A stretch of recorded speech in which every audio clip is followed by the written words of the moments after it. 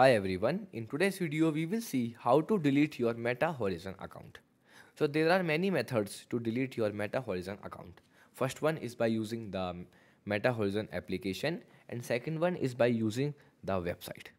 Okay, so the easiest way is to use the application.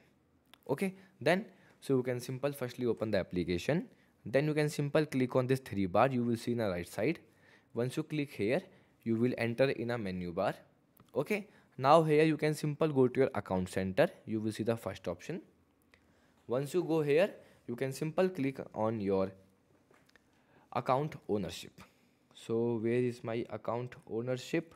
So firstly i am going to my accounts. Oh sorry. Now here you can simple click on personal details. Once you click on personal detail you will see here the third option is the account ownership and control. Once you tap here now here you will see the deactivation or deletion option. Then you can simple click here and now select your account which one you want to delete. So you want to delete your meta horizon account then select your meta account the option 2 once you tap here now click on delete account option and then click on continue.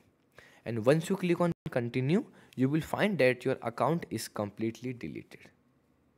Okay? So here is how you can simple delete your meta horizon account. Okay? Goodbye